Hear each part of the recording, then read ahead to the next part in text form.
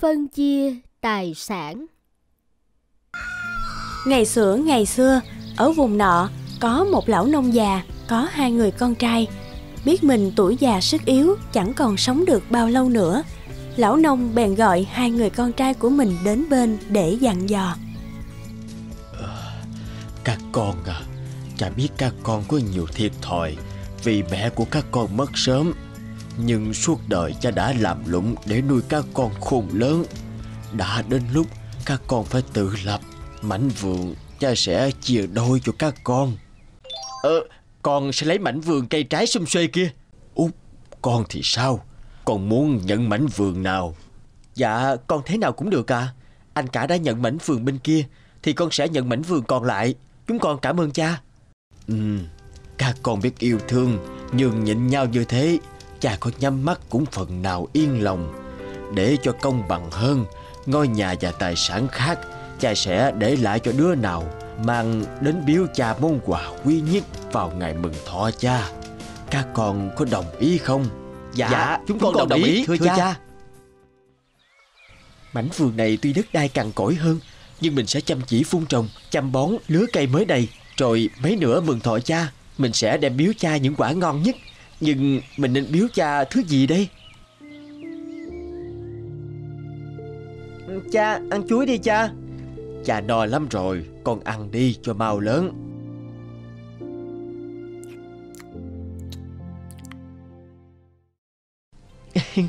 Đúng rồi, chắc là cha thích ăn chuối. Mình sẽ trồng thêm chuối rồi đem biếu cha.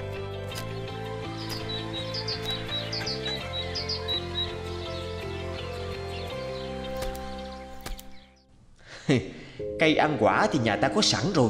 Tội gì phải vất vả như nó cho khổ cơ chứ? Nếu đem quả biếu cha Thì quá tầm thường. À đúng rồi. Ta sẽ đi buôn Rồi ta sẽ đầy vàng bạc.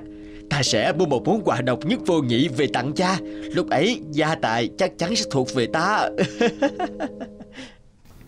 Sau khi bán số cây gỗ trong vườn có được chút ít vốn, người anh đi ngược về xuôi nhưng không tránh khỏi sự cám dỗ của rượu chè, cờ bạc. Chẳng bao lâu sau, đã đến ngày hẹn tặng quà cho cha. Anh ta đành hai bàn tay trắng trở về quê nhà. Hả? Trời ơi, đó không phải là vườn nhà thằng Út sao? Phải dò hỏi ngay, xem tình hình thế nào mới được. Không thì cả cha tài về tay nó như chơi. Ờ, ôi Út, đang làm gì thế? Ơi, anh cả, anh mới về đấy à? Cha với em ở nhà bông ngóng anh mãi chẳng thấy anh về. Ừ, ừ, anh mới về chạy luôn đến gặp chú đây. Mà mai là đã đến ngày mừng thọ cha rồi. Chú định tặng gì cho cha thế.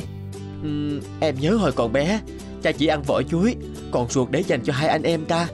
Bây giờ em muốn biếu cha buồn chuối đẹp nhất Mà em đã chăm bón mấy tháng nay anh ạ. À. ừ, Mình chẳng còn tiền để mua quà tặng cha Nhưng cũng không thể cứ thế nhìn cha giao tài sản cho thằng út được mà vườn nhà mình đã chặt hết cây Cũng chẳng còn quả gì để biếu cha. Làm sao đây? Ừ à hay là Nó định tặng cha buồn chuối ư? Mình không thể chịu thua nó được. Nó trồng nhiều chuối thế Mình chặt một buồn chắc nó cũng chẳng biết đâu.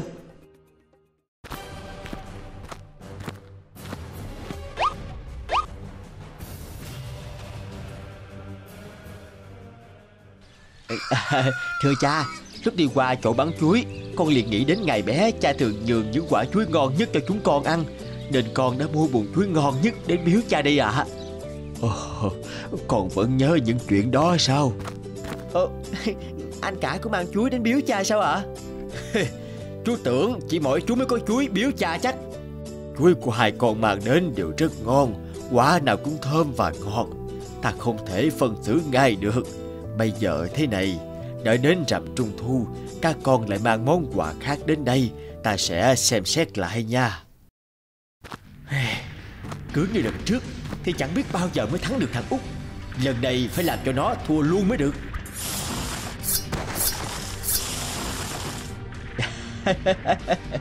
Bằng xuống chợ, Thể nào cũng được món. Lần này xem thử mày, còn gì để biếu cha. Trời ơi, Sao lại thế này? Cây của mình đâu hết rồi? Là kẻ nào? Là kẻ nào sao lại bàn ác thế này chứ? Bao nhiêu công ta đã vất vả sớm hôm chăm bón cây Thế mà giờ lại thế này. Rồi thì ta còn biết lấy gì để biếu cha đây? Ta biết làm gì để đền đáp công ơn của cha đây? Ôi, Vẫn còn sót lại cây bưởi chua ở cuối vườn kìa.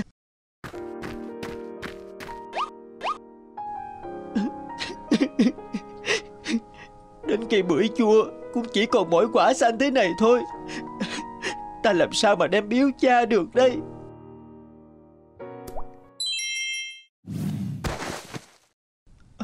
Hả Là quả bưởi xanh mình vừa thấy ư Thật là kỳ diệu Ờ, ờ ôi, sao cả vườn cây của chú lại thành ra thế này chứ? Hôm qua anh ngủ sai quá, không biết chuyện gì. À, Út ơi, mày đến ngày tặng quà cho cha rồi. Chú định tặng cha gì đấy? Anh thấy đấy, cả vườn nhà em còn có mỗi cây bưởi này. Nói lại là cây bưởi chua. Nhưng em chẳng còn thứ gì có thể đem biếu cha được nữa. Cha thật là đáng thương. Cuối đời rồi, còn phải nếm quả bưởi chua thế này nữa. Lần này gia tài thuộc về mình chắc rồi Thưa cha Lần này cha hãy nói luôn cho con biết Lại xứng đáng được hưởng gia tài đi ạ à. ừ, Được Để ta xem nào à, Thưa cha Con đã trồng được lứa bưởi sai quả Con đem bán đi lấy cái này biếu cha Kìa út Sao con còn đứng ngay ra đó con hãy bỏ qua bưởi mà con đem đến cho cha nếm thử xem nào. Ừ, dạ, thưa cha, cây bưởi mà con đem đến là bưởi chua, chắc là không ngon đâu ạ. Không sao hết, con cứ bỏ qua bưởi của con ra, cha nếm thử xem nào. Dù quả bưởi mà nó đem đến có ngon cỡ nào, cũng đâu thể so sánh được với vàng của mình được chứ.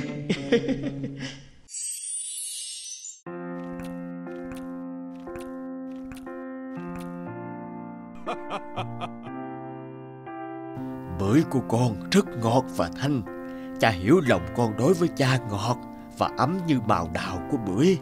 Cha đã quyết định được rồi Cha sẽ để lại gia tài cho út. Cha! Sao cha có thể thiên vị nói như vậy được chứ Con không đồng ý đâu Con đừng tưởng cha không biết những việc con làm với em con Có người lạc trông thấy Đã kể lại cho cha nghe tường tận vụ việc Lòng tham của con lớn đến mức ra tay với cả anh em ruột thịt của con vậy sao? Vậy là người anh sống lười biếng, ích kỷ đã xấu hổ bỏ đi mất tích, không bao giờ dám quay trở lại nữa. Còn về người em, người em nhân giống cây bưởi và lan đi khắp nơi. Có nơi còn gọi bưởi đào là bưởi hiếu để nhắc nhở nhau sống thật thà, ngay thẳng, sống có nghĩa, có tình. Từ đó về sau, bưởi đào là loại quả không thể thiếu mỗi dịp trung thu. Tình yêu bất tử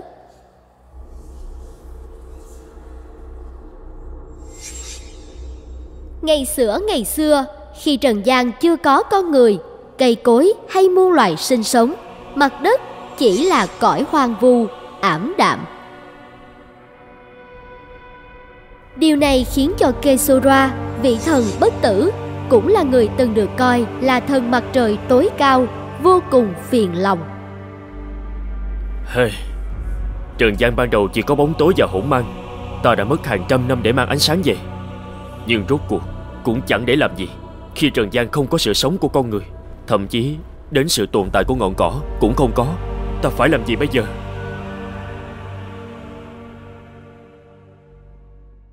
Kesuro, con trai ta Con vừa nói sao Vậy là con muốn tái sinh loài người thêm một lần nữa Nhưng ta cũng nói trước là việc này không phải dễ dàng đâu. Nó không kém gì một cuộc chiến trường kỳ cam go cả. Con đã nghĩ hết tới những khó khăn và thử thách mà mình sẽ trải qua chưa? Dạ, thưa chúa tể của các vị thần vĩ đại Ometoa, con đã lường trước được điều đó. Nhưng con tin, chỉ cần quyết tâm thì không khó khăn gì mà mình không vượt qua được. Bây giờ, chỉ cần người chỉ cho con biết con nên bắt đầu từ đâu, thì chắc chắn con sẽ biết mình phải làm gì.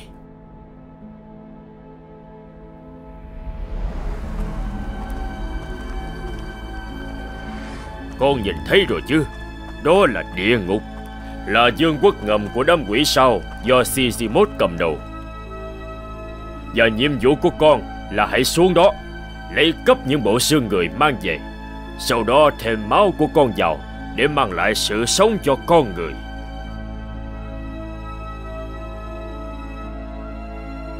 Đám quỷ kia có thể dễ dàng đối phó, Nhưng mụ Sisimot là một con quỷ nguy hiểm.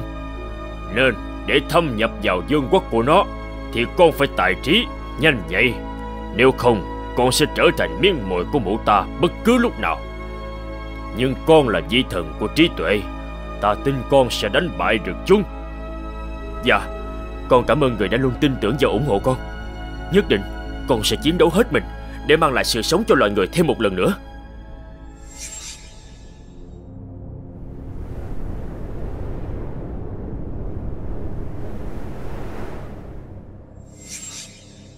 Thần Linh ơi, Đã có chuyện gì xảy ra vậy? Tại sao bỗng dưng ánh sáng vụt tắt, Cả thế gian lại trở nên ảm đạm tâm tối thế này? Người đâu? Mau đi tìm hiểu nguyên nhân của sự việc này ngay cho ta. Thưa thần Ometoa Có có chuyện lớn rồi. Ánh sáng trần gian đã bị đánh cắp. Mà điều kỳ lạ là Không có một vết tích gì để lại. Bây giờ chúng ta phải làm sao đây thưa người? Thần Linh ơi, Không lẽ Trần gian lại quay trở về hàng trăm năm trước, Chỉ có bóng tối hay sao? Chúng ta không thể để lịch sử lặp lại một lần nữa, Thưa người. Con nghi ngờ rằng Bọn quỷ địa ngục đã bắt đầu lộng hành, Con phải đi tìm hiểu sự việc mới được. Kesora, Sự việc lần này rất nghiêm trọng. Chỉ cần một sơ suất nhỏ thôi, Thì có thể cả thế gian Sẽ chìm trong bóng tối mãi mãi. Vì thế, Con hãy hành động thật cẩn trọng. Nếu bất cứ việc gì cần trợ giúp, Con hãy nhờ đến chiếc vòng cổ này. Những vị thần sẽ trợ giúp con. Dạ Con xin dâng lời dạy của người. Người hãy yên tâm, Chờ tin tốt của con. Con xin phép.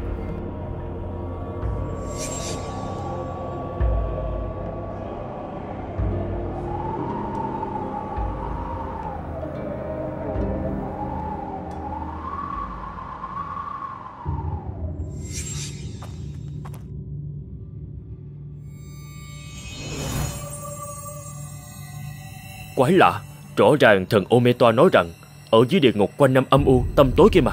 Tại sao bỗng nhiên Lại có thứ ánh sáng kỳ lạ Giống như trên trần gian là thế nào? Chẳng lẽ Chẳng lẽ nào Chính bọn chúng là kẻ đã? Thật tuyệt vời.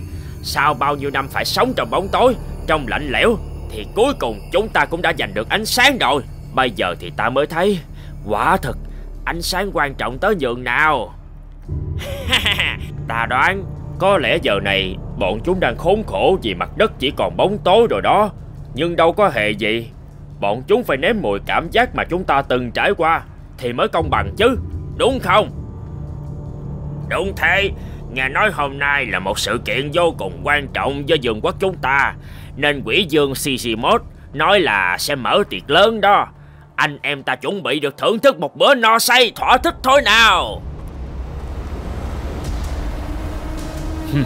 Thì ra bọn chúng chính là kẻ đã lấy cắp ánh sáng của Trần gian Thật to gan.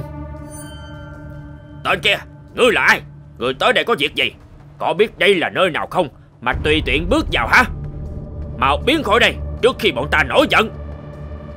Ê Các ngươi cứ bình tĩnh. Ta mạng phép tới đây Cũng chỉ để xin quỷ dương các ngươi một ít xương người. Mà quỷ dương không dùng tới nữa mà thôi. Ngoài ra không còn mục đích gì khác. Xin xương người hả? Hmm những chuyện này bọn ta không thể quyết định được. Người đứng yên ở đây, Chờ ta vào trong báo cáo với quỷ dương Sisimot đã.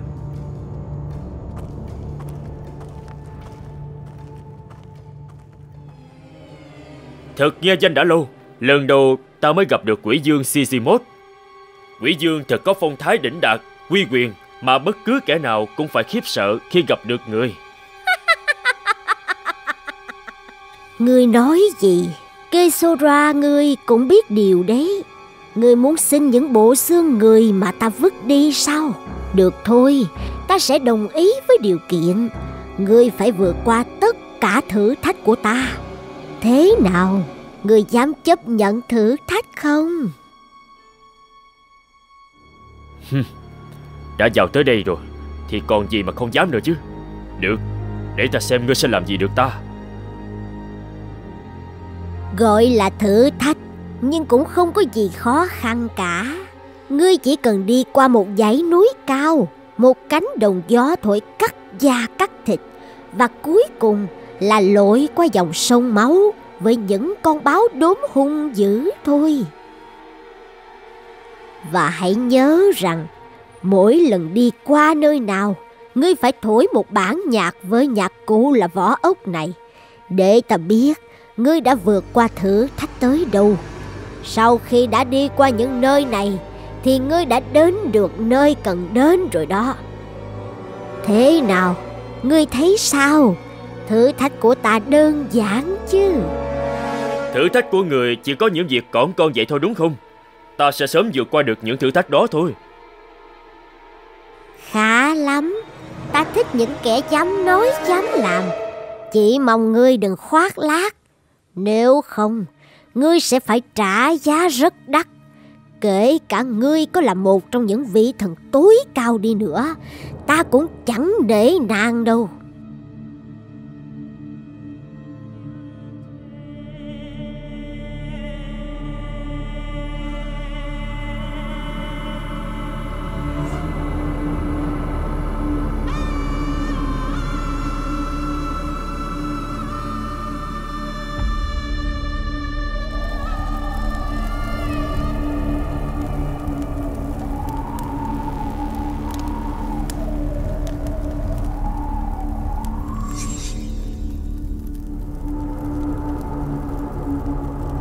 Những dãy núi ở địa ngục bị hôn nóng bởi những ngọn lửa thiên Nên không ai có thể vượt qua được. Sizimot muốn đưa ta vào chỗ chết đây Nhưng đâu có dễ như vậy. Mụ cứ chờ đấy. Thần gió dạng năng, Có nghe lời của thần Kesora triệu hồi. Hỡi chiếc vòng cổ chứa đựng quyền năng của gió, Hãy giúp ta dập tắt những ngọn lửa đang ngùng ngục bên trong dãy núi kia.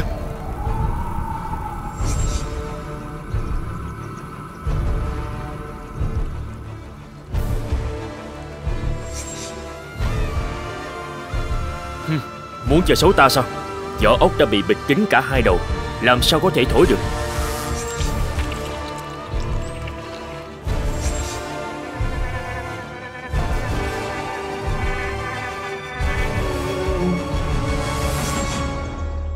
Muộn nhầm rồi, Sẽ chẳng có chuyện gì làm khó được ta đâu. Mụ cứ chờ đó, Nhất định ta sẽ không để cho mụ dễ dàng đạt được mục đích như thế đâu. Ngược lại, Ta sẽ khiến mụ phải hối hận Vì đã đối đầu với ta.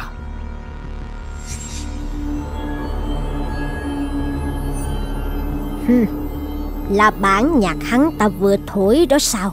Không lẽ nào Hắn dễ dàng vượt qua dãy núi đang bốc cháy ngùng ngục như vậy? Chẳng lẽ ta đã nhìn nhầm người rồi ư? Được. Cứ coi như lần này ngươi gặp may đi.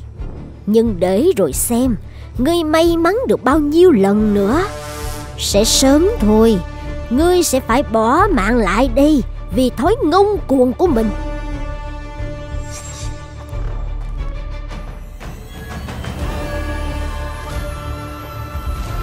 Lại là một cánh cửa ma quái khác đang chờ ta chiến đấu. Hmm. Thần Ometoa nói quả không sai. Mụ ta đúng là con quỷ độc ác. Nguy hiểm nhất mà ta phải đối phó ngay lúc này. Ngay tức khắc, Thần Kesora lại nhờ đến ma thuật của chiếc vòng cổ xà cừ. Những ngọn gió băng lạnh giá bị hút sâu vào trong vỏ ốc. Cánh đồng trở nên tĩnh lặng hơn bao giờ hết.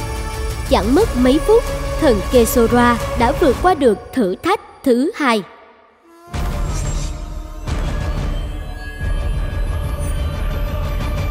Cái gì thế này? Xem ra hắn không đơn giản như ta nghĩ. Có lẽ ta phải dè chừng tên này rồi. Nếu không, e là vương quốc của ta thế nào cũng có chuyện xảy ra. Lính, lính đâu? Mau lại đi! Dạ Quỷ dương cho gọi chúng thần. Hmm, Các người hãy mau theo chân tên kia cho ta. Nhất cử nhất động của hắn Phải báo cáo ngay cho ta hay. Rõ chưa? Nhưng Nhưng Những nơi mà hắn đi qua đều rất nguy hiểm Chẳng cách nào cửa tử. Bây giờ chúng thần vào đó thì Thì e là là sẽ chung số phận với hắn mất Xin quỷ dương Lệnh của ta đã ban Kẻ nào dám chống lại, Lập tức chém đầu.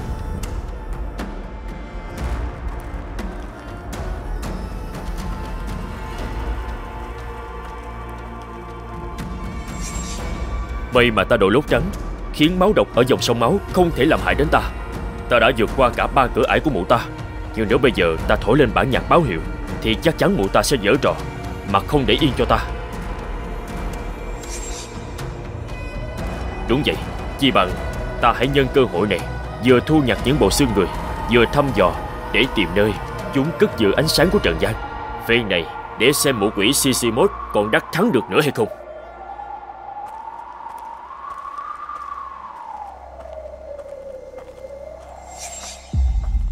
Ừ, ta có nhìn nhầm không vậy? Tại sao giữa nơi toàn xấu xa, ác độc lại có một cô gái xinh đẹp thế này? Cô ta là ai? Có khi nào đây lại là thủ đoạn tiếp theo của mụ Sizimot không?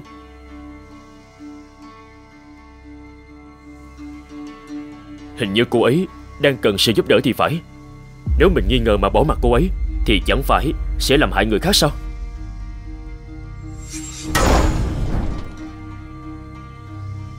Chàng... chàng là ai? Chàng từ đâu tới? Tại... tại sao chàng lại vào được tận đây? Mụ mụ phù thủy Tizimot sẽ không để yên cho chàng đâu. Chàng... chàng hãy mau rời khỏi đây đi. Nếu không chàng sẽ khó mà thoát được khỏi tay mụ ta đó. Ta là vị thần bất tử. Ta được gia cử xuống địa ngục Nhặt những bộ xương người về để tái sinh loài người. Nhưng khi xuống đây Thì ta phát hiện ánh sáng của trần gian đã bị chính mụ Sizimot đánh cắp. Vì thế sau khi đã vượt qua những thử thách của mụ Ta muốn tìm đến nơi mụ cất giấu ánh sáng. Ta là Mai Crow là cháu gái của Tizimot Trùng quỷ sao ở nơi này. Nhưng do ghen tị với nhan sắc của ta Và cũng có lời đồn rằng Ta chính là nguyên nhân ngăn cản chuyện tình của mụ ta với vị thần hắc ám, Nên mụ đã giam cầm ta ở đây. Mụ ta đúng là con quỷ độc ác. Đến cháu gái của mình Mà mụ ta còn dám ra tay. Nàng chớ lo, Ta sẽ đưa nàng ra khỏi nơi địa ngục khủng khiếp này Và hứa sẽ bảo vệ nàng khỏi đám quỷ ác độc kia Bằng tất cả những gì ta có. Nàng đồng ý chứ? Không Chàng hãy mau rời khỏi đây đi. Chàng còn nhiệm vụ cao cả cần phải thực hiện. Ta không muốn vì ta Mà chàng phải chịu bất cứ sự liên lụy nào. Bọn chúng sắp tới đây rồi. Nhìn thấy chàng ở đây Bọn chúng sẽ giết chàng mất. Không Ta không thể bỏ nàng ở lại đây mà đi được. Nào hãy bám chắc vào ta. Ta sẽ đưa nàng ra khỏi đây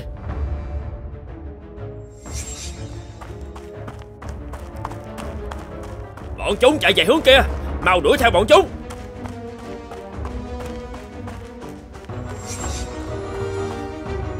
Chàng đừng cố chấp nữa. Ở cuối đường bên phải hầm có lối thoát ra ngoài. Từ đó chàng có thể trở về Trần gian. Chàng mau chạy đi Đừng lo cho ta. Nếu chàng còn mang ta đi Thì mụ Sizimot sớm muộn sẽ làm hại tới chàng mà thôi. Ta sẽ không bao giờ bỏ mặt nàng đâu. Có chạy thì chúng ta cùng chạy. Nàng là thân con gái còn chẳng lo Thì ta có gì phải sợ chứ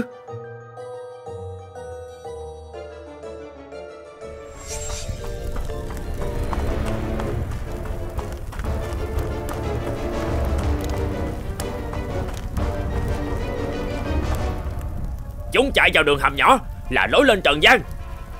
Đúng là một lũ ăn hại vô tích sự. Cả một đám đông như thế này Mà lại để bọn chúng trốn thoát trong tích tắc được sao? Còn đứng đó được à? Lập tức kéo lên trần gian săn lùng bọn chúng cho bằng được. Nếu không Các ngươi sẽ phải thế mạng cho họ. Rõ chưa? Dạ rõ thưa quỷ dương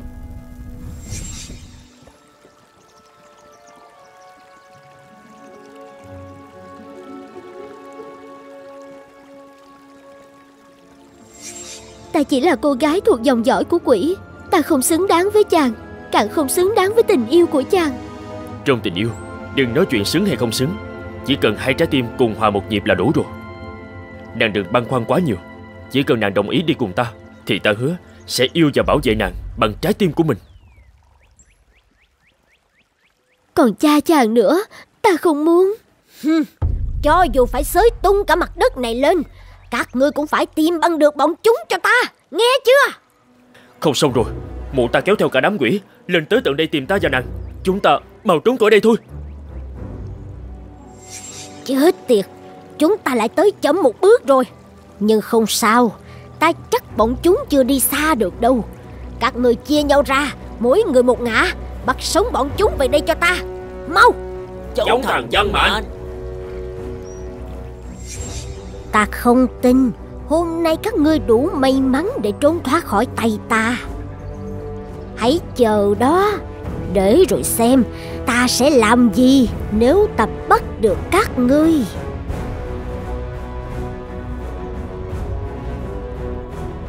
Đừng tưởng các ngươi biến hình có thể qua được mắt ta. Các người có trốn đằng trời cũng không thoát khỏi tay ta đâu. Ta đã nói rồi. Kẻ nào dám đối đầu với ta Đều phải nhận kết cục như thế này. Hôm nay coi như là ngày tận số của hai người rồi đó. Sống không thể cùng nhau Thì chết phải cùng nhau ư. Được, Ta sẽ giúp các ngươi toại nguyện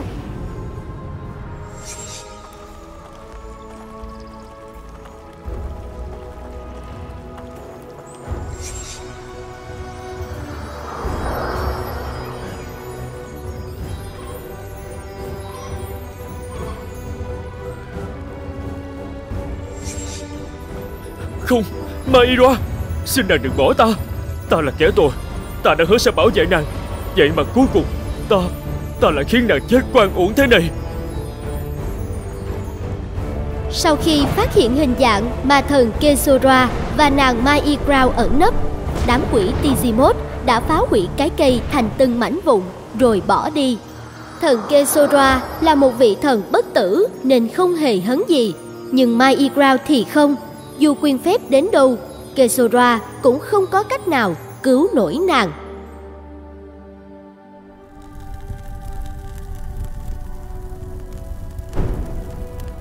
Chuyện gì xảy ra thế này? Tại sao cả vương quốc của ta Lại chìm trong bóng tối lạnh lẽo thế này? Kẻ nào Kẻ nào to gan Dám cướp lấy ánh sáng của ta? Xem ra ngươi cũng to gan đấy. Thoát chết một lần, Nên vẫn chưa biết sợ, phải không? Được lắm. Vậy thì hôm nay, Ta sẽ cho ngươi sớm đoàn tụ với đứa cháu gái hư hỏng của ta. Ta sẽ khiến kẻ ác độc như mi phải bị trừng trị.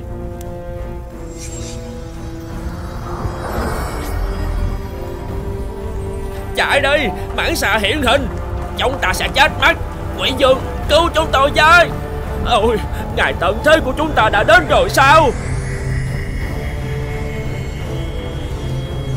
Đau khổ trước cái chết oan uổng của Mai Igrao Thần Kesonwa nộ khí, xung thiên, Hiện thân thể điểu xà trong hình dạng con mãng xà khổng lồ, Giết sạch đám quỷ Tizimot, Trả thù cho nàng.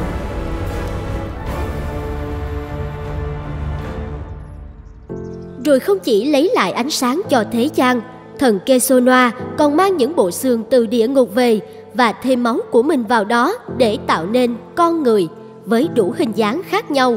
Và cũng từ đó người được coi là vị thần của sự sống còn về nàng Mai Y Crow, sau khi được thần Kesonoa đem các mảnh xác của nàng chôn cất cẩn thận tại vùng đất trống, thì từ đó mọc lên một loại cây lạ, sau này dân gian gọi đó là cây thùa. Loại cây không chỉ được biết đến là nguyên liệu sản xuất rượu cho các vị thần, mà còn được nhắc tới như minh chứng cho tình yêu bất tử. Hãy like, comment, subscribe kênh để xem thêm những video mới nhất nhé!